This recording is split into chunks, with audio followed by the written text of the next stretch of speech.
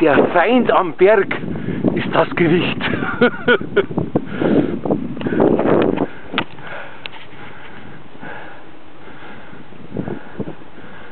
Nicht ohne. Aber jetzt sind wir gleich drum, Freunde. Ah.